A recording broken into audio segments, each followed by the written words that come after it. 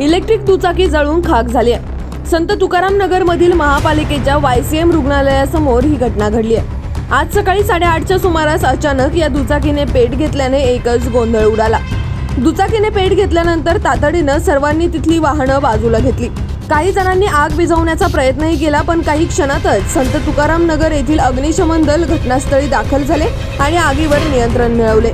Short सर्किटमुळे ही आग लागल्याचा अंदाज आहे. यापूर्वी देखील इलेक्ट्रिक वाहनांनी पेट घेतल्याच्या घटना घडल्या आहेत याच बातमीची काही क्षणचित्रे पाठवली आहेत आमचे प्रतिनिधी भानुदास हिवराळे यांनी. पाहुयात.